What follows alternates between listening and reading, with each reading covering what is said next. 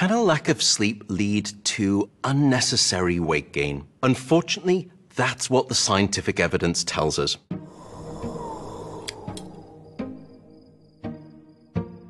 Part of the reason is due to an imbalance in two key appetite regulating hormones called leptin and ghrelin. Now, leptin sends a signal of fullness to your brain, so you feel satiated by your food. Ghrelin, on the other hand, does the opposite. It sends a signal of hunger to your brain.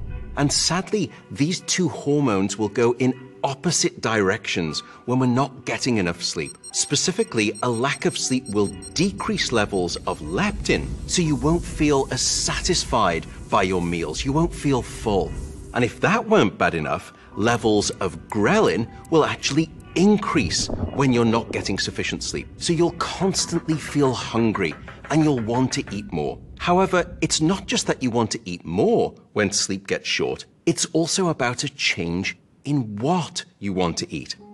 In particular, a lack of sleep will shift your preferences towards desiring higher calorie and sugary carbohydrate foods. What's fascinating is that this relationship between sleep and food is a two way street. We've discovered that eating to excess and also eating a diet that contains high amounts of sugar and low amounts of fiber are all associated with significantly worse sleep quantity and sleep quality. The good news here is that we can think of sleep as a new tool to help regulate our body weight and as a result, improve our overall health and our wellness.